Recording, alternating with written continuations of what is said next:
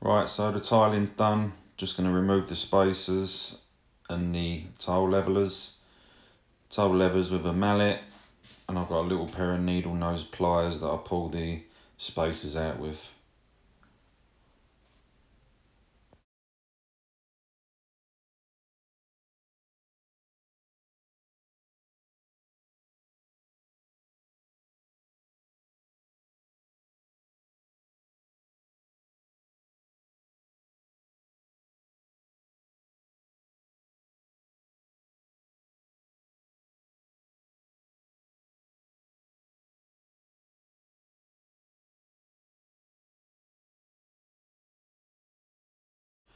Right, so this ceiling is textured, so I want to make sure I don't get any grout on the ceiling, so I'm just masking up, just with a two inch painter's tape, just mask around the ceiling, that way it give you a little bit of protection you need from the grout.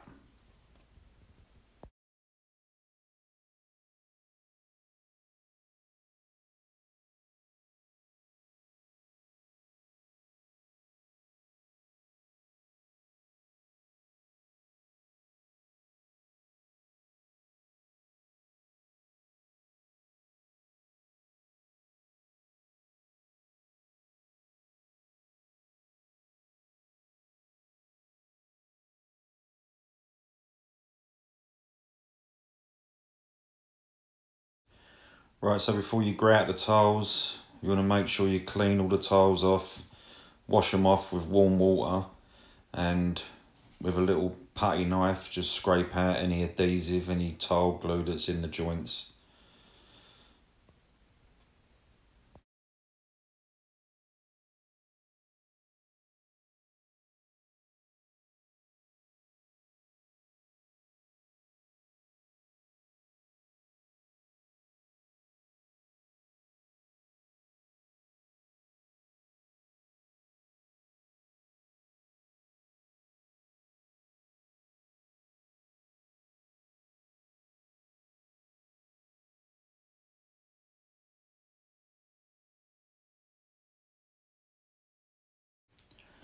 Right, so I'm going to start grouting the tiles now.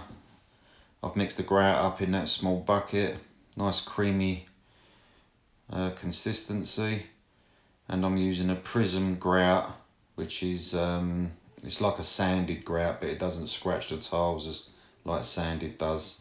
And it's a better colour consistency. It's the one I like to use. And you must remember that this is a white tile with a white grout so it's really important that you use a white adhesive. If you're going with a dark grout be sure to use a grey. It's going to be a dark adhesive which is going to be grey. Anything light use white. Yeah nice. Yeah and that's it. Push it right in the joints. Make sure you get the grout right in there push it right in and then smooth it off with the grout float and then um, wash it off with warm water.